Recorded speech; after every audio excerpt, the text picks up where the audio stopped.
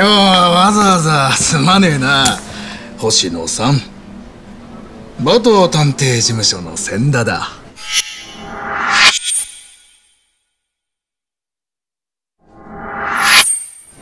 あの何なんですかあの電話は。意味がわからないんですけど。心当たりはないとその割にサングラスなんかかけて顔を隠してる様子だったが後ろめたいことがあるからじゃねえのか？そんなことありませんって。それで相談って何ですか？電話で話した通りだ。白崎沙織さんにあんたの調査を依頼されてな。依頼人に結果を報告する前に本人に相談しておこうと思ったわけだ。あのこれは？あんたの彼女がうちの事務所に相談に来た時の写真だよ。そんななんで沙織さんが？あんたらそろそろ婚約って感じなんだってな。それで不安になっちまったんだろうさ。彼氏がもしかしたらってな。まあよくあることだ。それであなたは何がしたいんです？僕には後ろめたいことなんてありませんけどそもそも探偵が依頼内容を他人に話すのは守秘義務違反でしょさすが弁護士さんだ。服部がどうに言ってる。だがこいつを見ても平然としていられるかな。はこれカムロ町のラブホだよな。いや。婚約前の最後の火遊びといったところがね。延長までして随分とお楽しみだったようだ。これはその誤解というか。まあまあとりあえず落ち着こうや。えかい星野さん。これが法廷と違うところだ。この写真なかったことにしてやってもいい。地獄の沙汰も金次第ってやつさ。つまりあなたを買収しろってことですか？理解が早くていいね。そういうことだ。400万それで依頼人には浮気はなかったって報告してやるよ。400万そんな金払えるわけ？あんたその金で未来を買うんだ。そう考えりゃ安いだろでですが。おい星野。こいつはあんたの職場に送りつけてやったっていいんだぞ。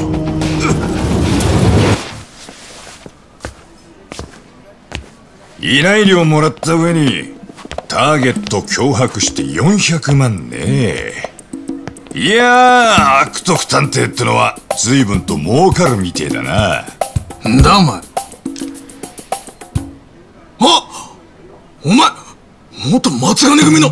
今はあんたと同業だ。元馬頭組若頭補佐千田四郎さんよ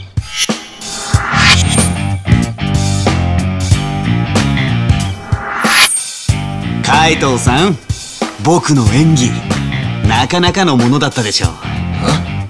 演技？あんたに騙された依頼人に頼まれてよ。脅し取られた金を取り戻してほしいってな。そこで星野君と沙織さんに一芝居打ってもらったってわけだ。おかげで証拠はバッチリつかめたぜ。なあ星野君ええ。証拠は全てここにさて依頼人から脅し取った100万プラス迷惑料30万。それで手を打とうや。なっ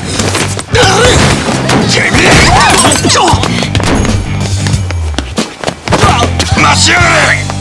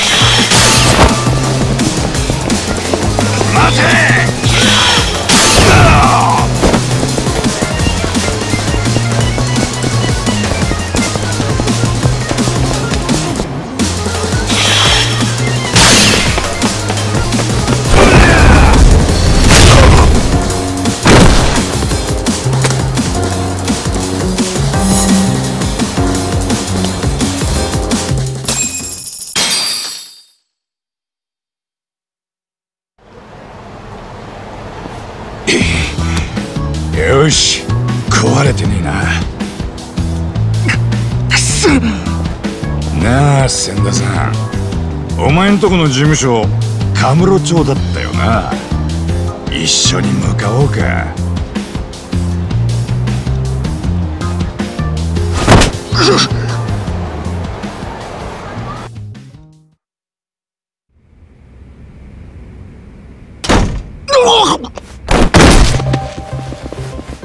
千田何やってんだてめえ。か頭それがは確か松金のところにいた。八神探偵事務所の調査員海藤だ。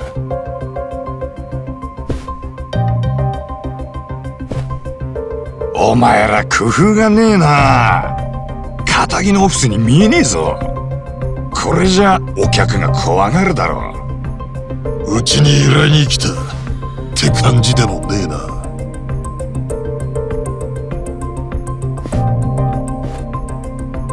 お前が代表か？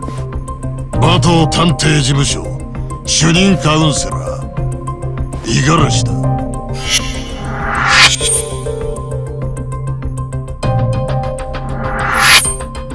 馬頭組。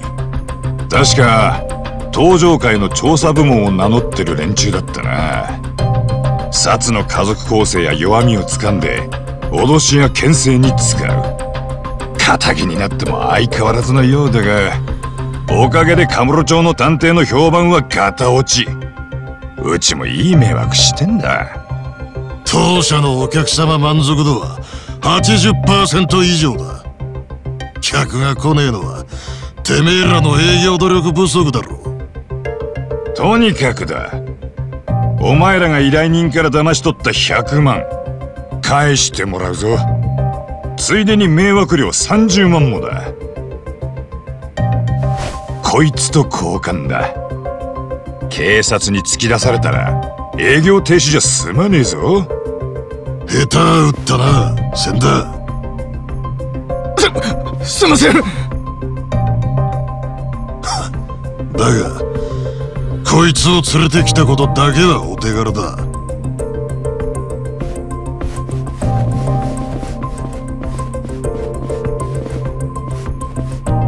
こりゃ迷惑料50万はもらわねえとな。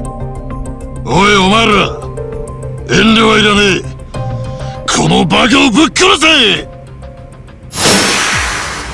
やらせてもらうぜ。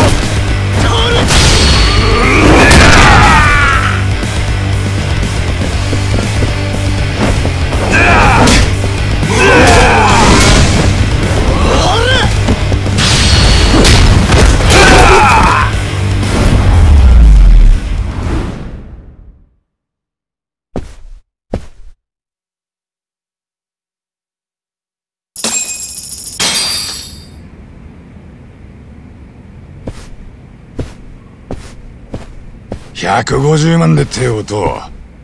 お前らの未来を買うと思えば安いもんだろカイトこの借りは返す。必ずな。楽しみにしてるぜ。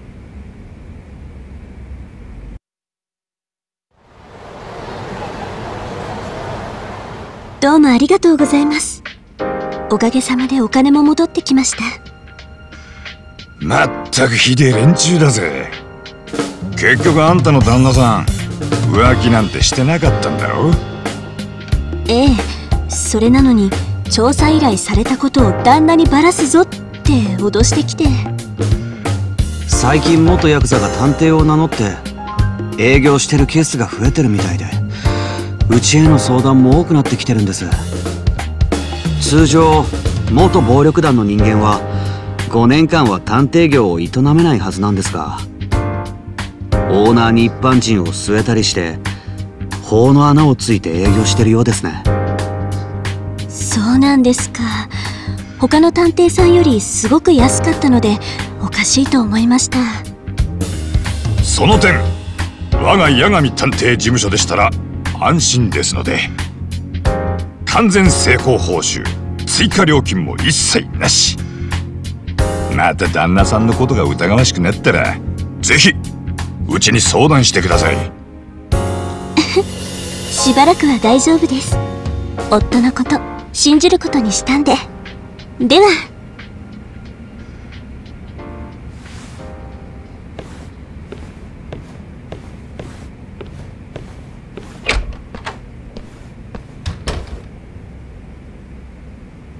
ところで星野君沙織さんとは実際のところどうなんだ？ああ僕としては尽くしているつもりなんですけどね。時々僕たち本当に付き合ってるのかなって心配になることも。もう付き合って3年ぐらいだよな。結婚とか考えてねえのか？もちろん僕は真剣に考えてますよ。あでも沙織さんはどうなのかなおいおいそんなんだと沙織さんを逃がしちまうぞ。男ならガツンといかねえと。そうですよね。よーし今年こそは。おう応援してるぜ。それじゃあ僕は事務所で仕事が残ってるので失礼しますね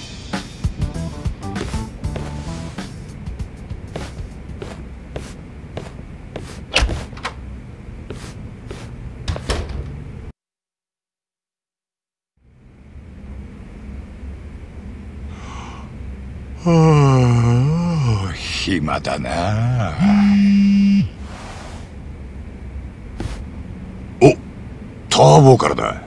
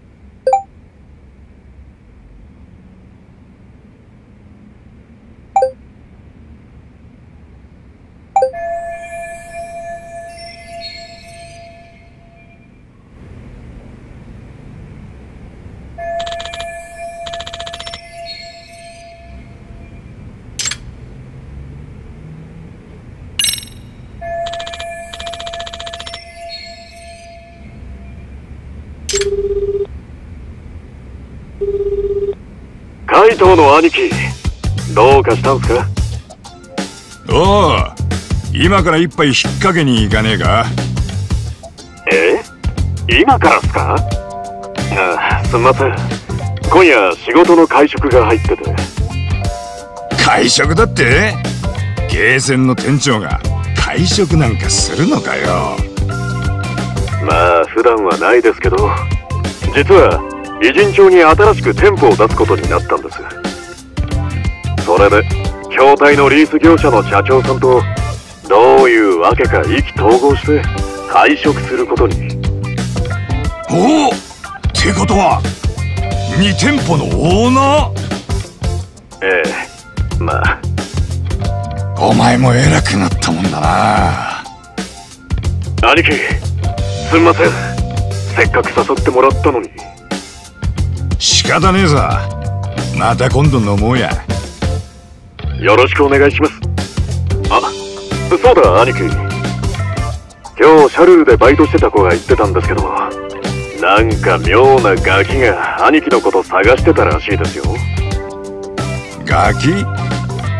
俺はいなかったんで見てないんですけどやたらと威勢のいい生意気なガキでうちのバイトと喧嘩になりかけて追い出されたとか。なんでそんなガキが俺を？さあなんでしょうね。あそろそろ会食の時間なんでまた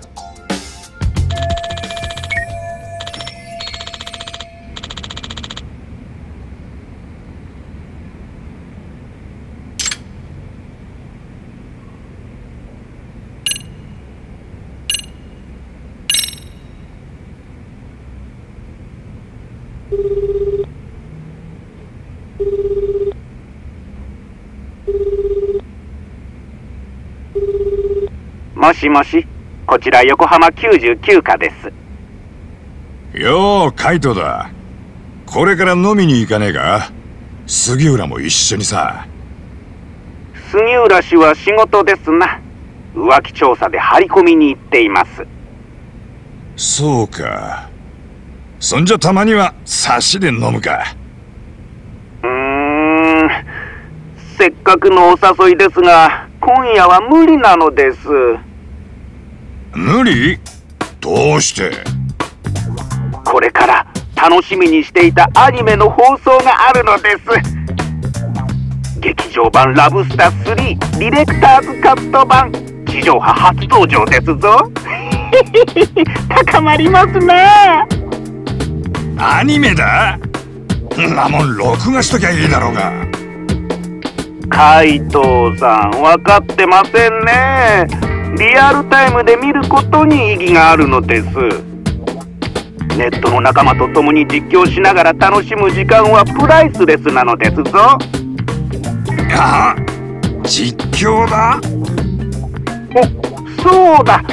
よかったら海藤さんも一緒に実況しませんか？オンラインでボイチャしながらでしたらカムロ町のご自宅に行っても共に飲めますし。僕の友人にも紹介いたしますのであいや実況？うん話についていけそうにねえし。誘っておいて悪いがやめとくわ。そうですか。海藤さんにラブスターの良さを知ってもらういい機会だと思ったのですが。おそろそろ始まりますので失礼します。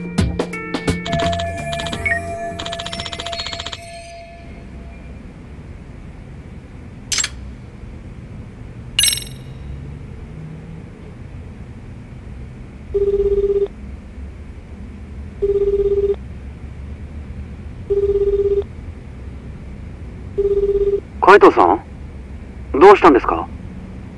星野君これから飲みに行かねえか？え？いやさっきも言いましたけどまだ仕事が残ってて。なんだまだ片付いてねえのか？はい。それに沙織さんにも手伝いを頼まれちゃって。そうなのか。まあそれじゃ仕方ねえな沙織さんのお願いじゃ断れねえもんな。ええすみません。また誘ってください。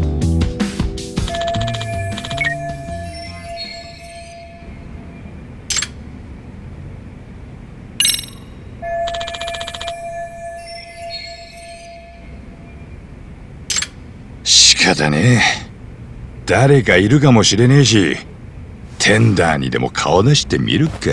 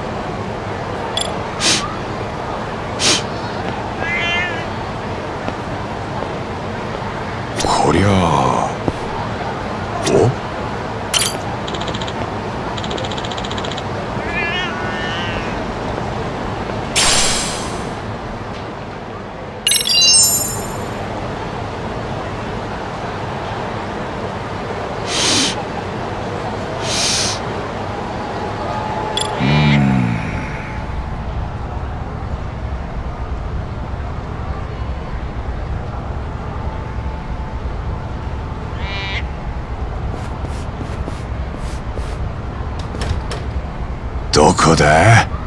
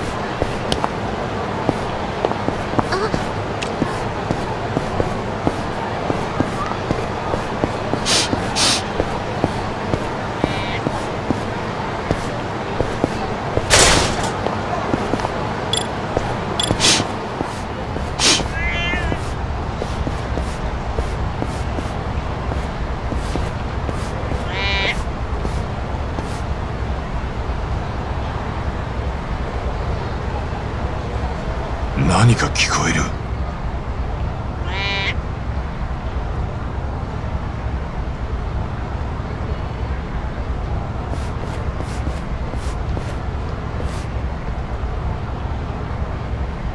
どこからだ？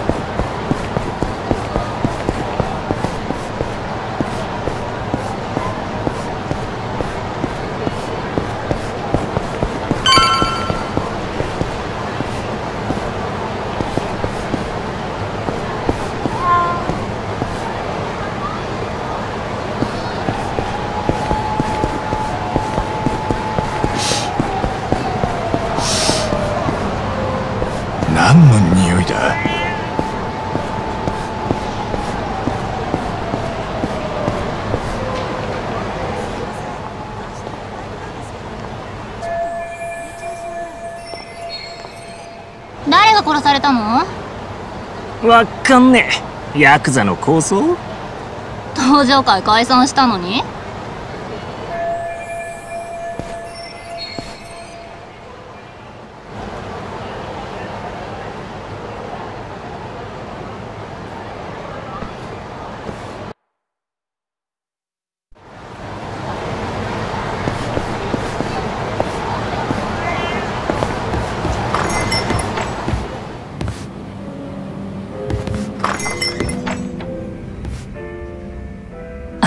海藤さん今日は一人？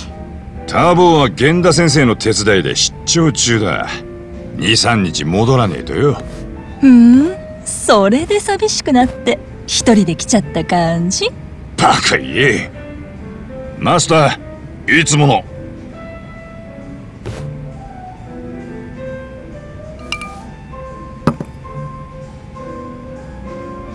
マスターなんか表が騒がしかったぞ。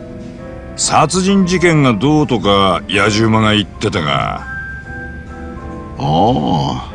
なんとかって会社の若いエリート幹部が殺されたらしい。数日前にも似たような事件があったって話題になってたな。そっちは社長かなんかだったような。金持ち狙って強盗かな？さあな。何にせよ物騒な話だ。そういえば海藤さん紹介した仕事は片付いたのか？おお悪徳探偵どもをぶちのめしてやったよ。星野君も名演技だったぜ。そうか。俺も見たかったなその場面。なあマスター。星野君と沙織さん。そろそろなんじゃねえかな。星野君も今年こそって張り切ってたし。そろそろ？結婚ってことか？あああとは沙織さんにその気があればって感じじゃねえかな。え それはどうかな。もうちょっと時間かかるんじゃない？そうか？まあマリネの勘は当てになるからな。そういう海藤さんはどうなの？浮いた話とかないの？あなんでそこで俺の話になるんだよ。だって海藤さん女の子には結構積極的なのにそういう話をほとんど聞かないから。この人は振られてばっかりだからな。うるせえよ。俺はなその日その日を楽しく生きられりゃそれでいいの。女口説いて振られんのもまた一興振られた分だけ次のいい女との出会いが俺を待ってるわけだからな。海藤さんおじいちゃんになってもそういうこと言ってそうだね。いやだがなマリネ。海藤さんはこんなこと言ってるがな恋に落ちると結構盲目なところがあるんだ。昔結婚を考えてるとか言ってたこともあってよ。え？そうなの？意外？おいマスターその話は。ほらなんて言ったっけあの子。もう10年以上前のことだが同棲までしてさ。えー、っと確か。マスターその話は長くなるからまた今度。な。ん？ああそうかいんなことよりなんか仕事はねえのかよ。悪徳探偵どものせいで仕事が減って暇でよ。紹介してくれよ。おそうだ忘れてた。あんたに紹介してくれって頼まれてた依頼があったんだ。人探しだったよ。俺に？詳細は？いや詳しいことはわからねえ。会って直接話したいそうだ IT 企業の社長さんだ。ほう IT 企業の社長ね。で報酬は？相手は前金だけで200万提示してる。200万？おいおい随分と気前がいいな。調査の必要経費に使ってほしいってことだ。しかも前金の他に成功報酬で2000万出すらしいぞに2000万。結果次第じゃもっと出してもいいと言ってるらしい。よっぽど金が有り余ってるんだろうな。マジかよ。なんかすごい話みたいだけど海藤さん一人で大丈夫？肝心の所長さんが出張中だし。うんちょっと心配だな。客が怖がって逃げ出さなきゃいいが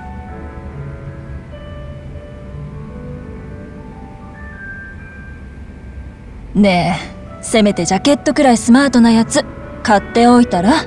そうだな。TPO に合わせて仕事するってのは大事だぞ。おいおい信頼ねえな。俺はどんな仕事だって自然体でやるのがポリシーなんだ。仕事は格好でやるもんじゃねえ。大事なのは中身だろ。心配されなくてもきっちりとその仕事を勝ち取ってみせるぜ